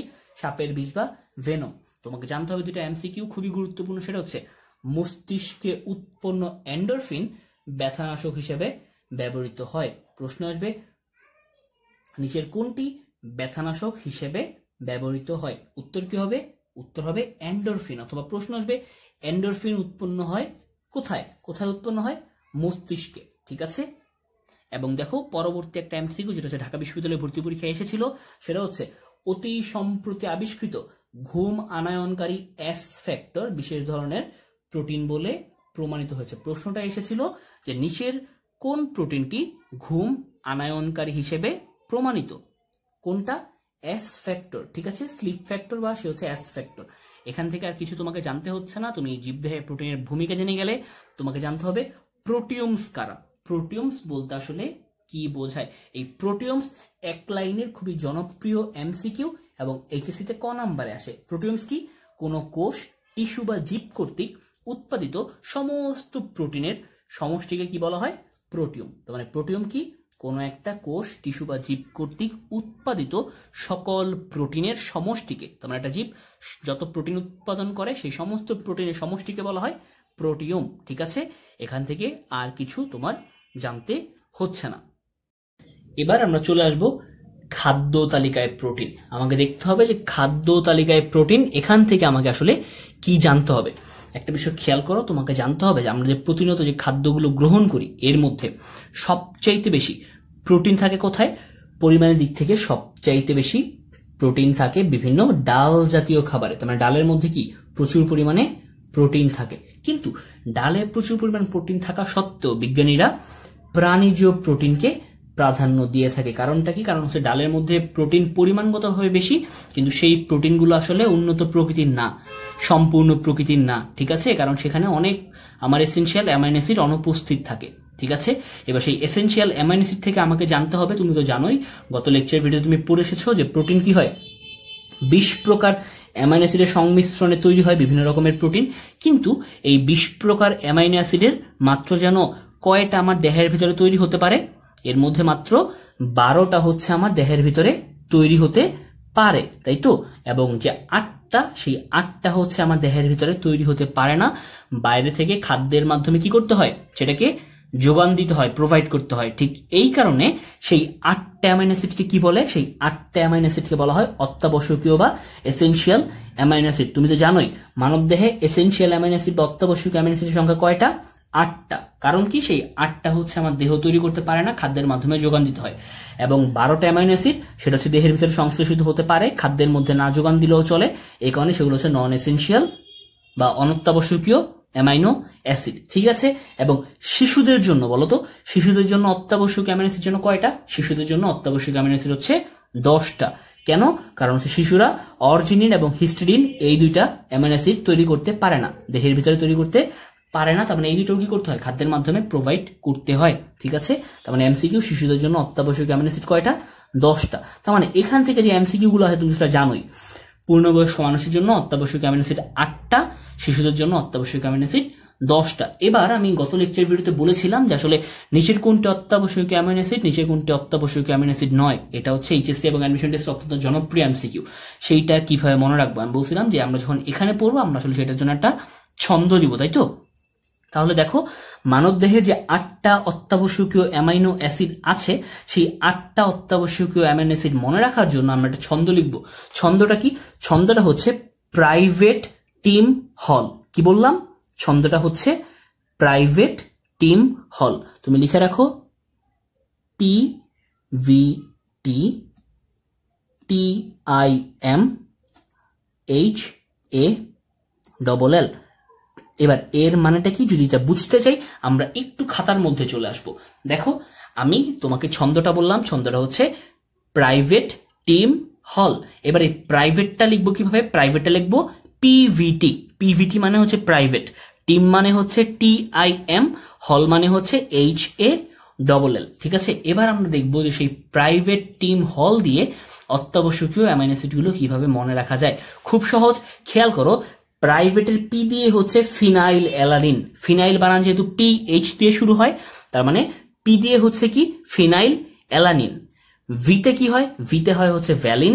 টিতে কি হয়? টিতে হয় হচ্ছে থিওনিন ঠিক আছে? তার মানে প্রাইভেটের পি ভিটি দিয়ে হচ্ছে ফিনাইল অ্যালানিন, ভ্যালিন এবং থিওনিন এবার টিমের টি দিয়ে কি হয়? টিমের টি দিয়ে হয় হচ্ছে ট্রিপ্টোফ্যান। আই দিয়ে হয় হচ্ছে আইসোলিউসিন। এম দিয়ে হয় হচ্ছে মেথিওন তার মানে টিম দিয়ে আমি আরও তিনটা অত্যাবশ্যক অ্যামিনো অ্যাসিড শিখে গেলাম। সেটা কি কি? টিতে হচ্ছে ট্রিপ্টোফ্যান আইতে হচ্ছে আইসোলিউসিন এম দিয়ে হচ্ছে মেথিওনেন ঠিক আছে? তার মানে তিনটা তিনটা, ছয়টা অত্যাবশ্যকীয় অ্যামিনো অ্যাসিড শেষ। এবার হল দিয়ে কি হয়? খেয়াল করো, এই যে হলের এইচ এ এই দুইটা আসলে তোমার শিশুদের জন্য। এই দুটা কার জন্য? শিশুদের জন্য। তার মানে হচ্ছে এই দুটো যদি শিশুদের জন্য হয় আমি জানি যে পূর্ণাঙ্গ মানব দেহে অত্যাবশ্যক অ্যামিনো অ্যাসিড আটটা, ছয়টা অলরেডি হয়ে গেল, তার মানে বাকি দুইটা হচ্ছে ডবল এল দিয়ে, ঠিক আছে? তাহলে দেখো এইচ এ এই দুইটা হচ্ছে শিশুদের জন্য আমি তোমাকে বললাম, এবং বাকি দুইটা, অর্থাৎ হলের ডবল এল দিয়ে হচ্ছে আমার অত্যাবশ্যক অ্যামিনো অ্যাসিডের বাকি দুইটা। সেটা কি কি? এক এল দিয়ে হচ্ছে লিউসিন আর এক এল দিয়ে হচ্ছে লাইসিন ঠিক আছে? তার মানে আমার আটটা অত্যাবশ্যক অ্যামিনো অ্যাসিড আমি কি করতে পারলাম? প্রাইভেট টিম হল দিয়ে মনে রাখতে পারলাম রাইট প্রাইভেটের পিতে কি? ফিনাইল অ্যালানিন ভিতে হচ্ছে ভ্যালিন টিতে হচ্ছে থিওনিন আরেকটিতে হচ্ছে ট্রিপ্টোফ্যান আইতে হচ্ছে আইসোলিউসিন এম এ হচ্ছে মেথিওনিন এবং ডবল এলতে হচ্ছে লিউসিন এবং লাইসিন তাহলে আমার আটটা অত্যাবশ্যক অ্যামিনো অ্যাসিড শেষ। এবার, শিশুদের জন্য অত্যাবশ্যক অ্যামিনো অ্যাসিড তো দশটা, তার মানে এই আটটা সহ আরও অতিরিক্ত দুইটা আছে। সেই অতিরিক্ত দুইটা কি? সেই অতিরিক্ত দুইটা আমি মনে রাখব হচ্ছে হলের এইচ এবং এ দিয়ে। দেখো এইচ দিয়ে হচ্ছে হিস্টিডিন এতে হচ্ছে অর্জিনিন ঠিক আছে? হিস্টিডিন এবং অর্জিনিন তার মানে এই দুইটা হচ্ছে শিশুদের জন্য অতিরিক্ত অত্যাবশ্যকীয়। তার মানে শিশুদের জন্য দশটা অত্যাবশ্যকীয় অ্যামিনো অ্যাসিড এবং হচ্ছে পূর্ণাঙ্গ মানব দেহে আটটা এসেনশিয়াল অ্যামাইনো অ্যাসিড আমি একই ছন্দের মাধ্যমে কি করতে পারলাম? শিখে ফেলতে পারলাম। তার মানে এখান থেকে যদি প্রশ্ন আসে, নিচের কোনটি মানবদেহের অত্যাবশ্যকীয় অ্যামাইনো অ্যাসিড নয় বা নিচের কোনটি অত্যাবশ্যকীয় অ্যামাইনো অ্যাসিড আশা করি ভুল হবে না। শুধু মনে রাখতে হবে প্রাইভেট টিম হল, ঠিক আছে?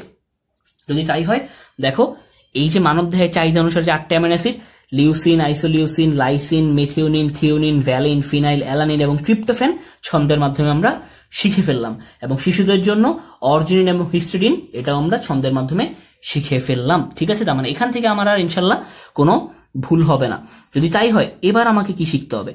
এবার আমাকে শিখতে হবে হচ্ছে যে প্রোটিন কোনটা অগ্রগামী, প্রোটিন কোনটা অনুগামী, তার মানে কোনটা হচ্ছে প্রথম শ্রেণির প্রোটিন, কোনটা হচ্ছে দ্বিতীয় শ্রেণির বা অপেক্ষাকৃত কম উন্নত প্রোটিন। দেখো, প্রাণীজ প্রোটিন যারা আছে, তার মানে মাছ, মাংস, দুধ, ডিম, এদের মধ্যে ওই মানবদেহের জন্য অত্যাবশ্যকীয় যে অ্যামাইনো অ্যাসিডগুলো আছে, সেই সবগুলো অ্যামাইনো অ্যাসিড পাওয়া যায়। যেহেতু এর মধ্যে সবগুলো অত্যাবশ্যকীয় অ্যামাইনো অ্যাসিড পাওয়া যায়, এই কারণে হচ্ছে প্রাণীজ প্রোটিনই হচ্ছে অগ্রগ্রামী ঠিক আছে? তার মানে এরা হচ্ছে কি?